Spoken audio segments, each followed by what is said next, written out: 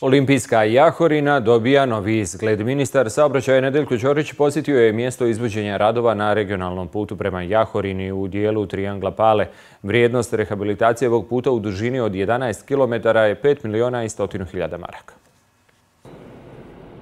Radovi na rehabilitaciji puta Pale Jahorna u ukupnoj dužini od 11 km u završnoj su fazi. Projekat čija je vrijednost 5,1 milion maraka finansira vlada Republike Srpske sa putevima Srpske. Ovo je sada nešto što zaista e, daje jedan novi izgled i oblik e, prilaska samoj planini i sve one investicije koje smo radili u prethodnom periodu na Jahorni sa ovakvim prilaznim putem ovaj, svi onim što treba još da završimo na samoj planini, dobit će jedan sasvim novi izgled. Uz novu kolovoznu traku rehabilitacijom ovog puta omogućena je i veća bezbjednost učesnika u saobraćaju. Izvođač radova ističe da bi u narednih 15 dana trebalo da bude postavljena horizontalna i vertikalna saobraćajna signalizacija i odbojna ograda. Imali smo e, sedam manjih klizišta koja su sanirana, koja su bila predviđena ovim projektom, da kažem, za sanaciju.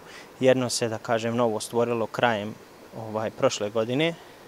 E, tu je projektna dokumentacija u završnoj fazi, e, tako da mi očekujemo da ćemo e, do, do kraja narednog mjeseca ući u, u te radove. I ovo pitanje trebalo bi da bude završeno do početka nove zimske sezone, do kada će se u dogovoru sa opštinskim vlastima raditi i na sanaciji lokalnih puteva, a razmišlja se i o putu za ski centar dvorišta. Zato što mi imamo plan, e, pored gondole Pale Jahorina u, u ovoj godini, da započnemo sa radovima.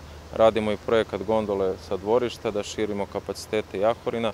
Ove godine radit ćemo proširenje kapaciteta na prač i na skočinama. E, mogu da obavestim sve skijaše da radimo najmoderniji sistem osnežavanja na prači koji će raditi na plus 10. Mislimo da bilo koji infrastrukturni projekat, uključujući i ovaj put i osnježavanja koja će raditi i gondolu Pale Jahorna i gondolu e, dvorišta Jahorna, E, sigurno treba da realizujemo, da ostavimo onima iza nas, jer to nije samo naše, to je svih generacija koji će moći da uživaju. Novi prilaz planini daće novi izgled Jahorini, koja nakon zimske bilježi rekordnu ljetnu sezonu. Uz mnoštvo novih sadržaja bilježi se odlična posjeta i odlični prihodi i za 30 dana, kažu u Olimpijskom centru, već je premašena cijela prošlogodišnja ljetna sezona.